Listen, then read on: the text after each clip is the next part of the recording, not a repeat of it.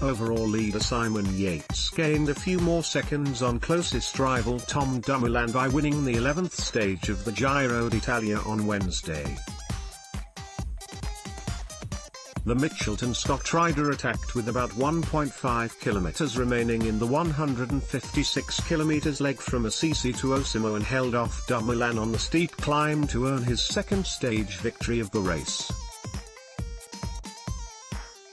Four-time Tour de France champion Chris Froome lost more time on the leaders and his chances of winning are disappearing. Milan, who is a time trial specialist, was 2 seconds behind Yates in second.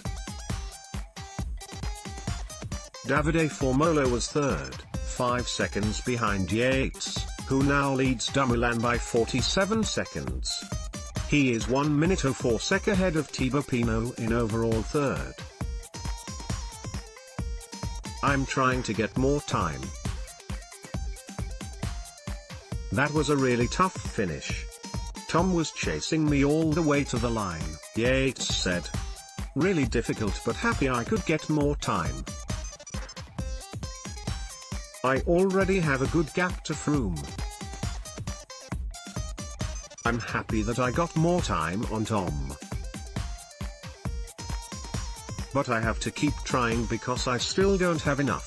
Froome finished 40 seconds behind Yates to again slip out of the top 10.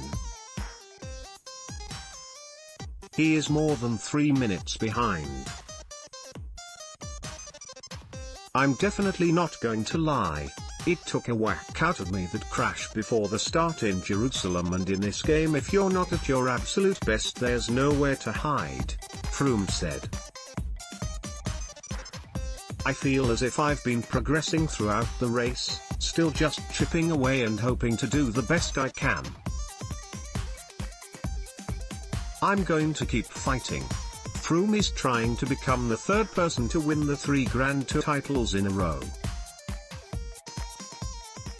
I certainly haven't given up hope, Froome said. I'm going to keep plugging away. I'm motivated, the team's motivated and we're going to do as much as we can. A disappointed Froome arrives in Osimo.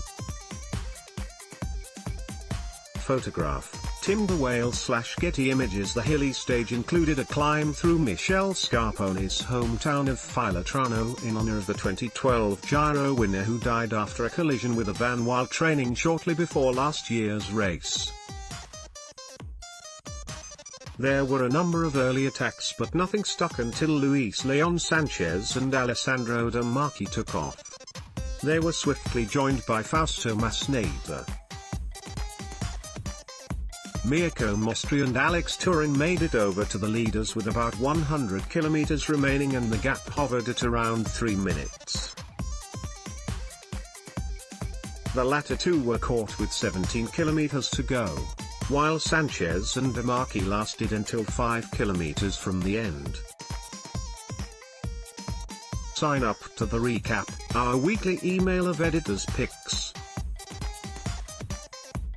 Zdenek Stybar and Tim Wellens attacked and opened up a small gap late in the race but couldn't respond when Yates made his move. Thursday's 12th stage is a flat, 214 kilometers run from Osimo to the motor racing circuit of Imola. After another flat stage. The race features a climb up Monte Zoncolan on Saturday and a grueling leg through the Dolomite Range on Sunday. The race ends in Rome on the 27th of May.